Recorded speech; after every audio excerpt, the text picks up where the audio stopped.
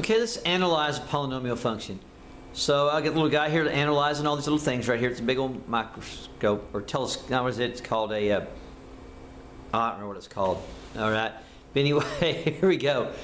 Let's do this function right here. Let's find all the zeros. Well, the first thing I want to do is what? Set it equal to zero, and then factor. Is there something common? Yes.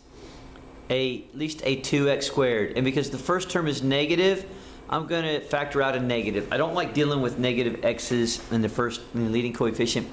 Makes it very difficult to factor more. So I'm going to do this here. I have this negative 2x squared. And if I factor negative 2x squared out of this negative 2x to the fourth, it leaves me an x squared. And if I take that times, divide that by this, I have a negative 1 left over. Now then, I can factor, think about it, that's like a middle term of 0x, which means the factors are only what? Of 1 or 1 and 1, and 1 minus 1 does make 0.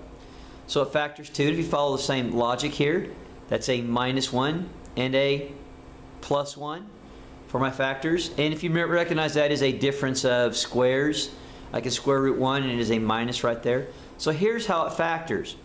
So to analyze this now, set each one of these equal to 0. Well, let's look at that first one. Basically, I'm going to divide everything by negative 2.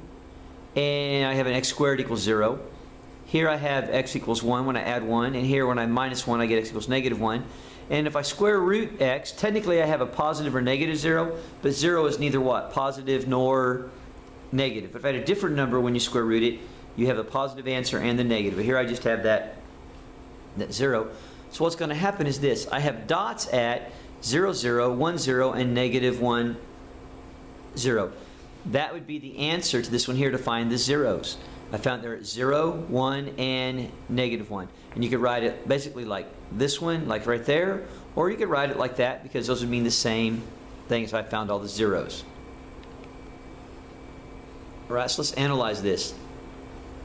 Notice, if you, uh, we put dots right there at our points where it crosses 0, and you'll notice this, it's a leading coefficient is negative and it's even, meaning the last thing they do is both what? Go down, they both fall. So, and then what happens is because this zero was a squared, it doesn't go through zero back like that, it actually bounces off of the line back up. And this graph would look like that, and there'd be a relative maximum at that particular point right there.